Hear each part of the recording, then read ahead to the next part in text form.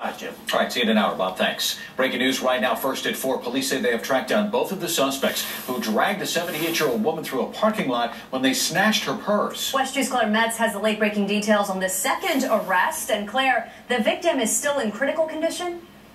I tell you what, Aixa, there's some good news on that front. We are here at Halifax Health Medical Center where we've learned the victim, Jean Nelson, has been upgraded from critical to serious, thank heaven. And after an all out police search following good leads and tips, police say they have arrested the two women who put the victim here.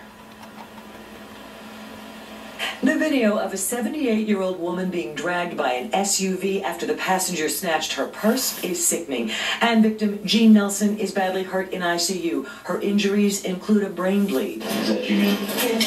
Miss Robertson? 29 year old Lacey Robertson is the accused driver. She made a first appearance in court after being arrested last night at a local substance abuse treatment facility.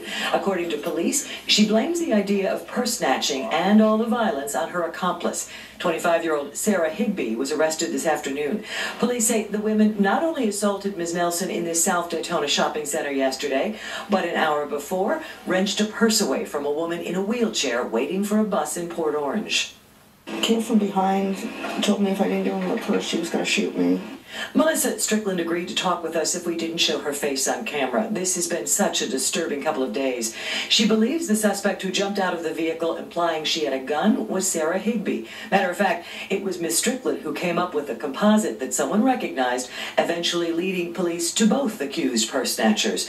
Strickland is grateful they are in custody, but shocked and saddened by what happened to Jean Nelson. I saw the video. What do you think of when you see it, Melissa? Something's definitely wrong. We need to look at why people are doing this.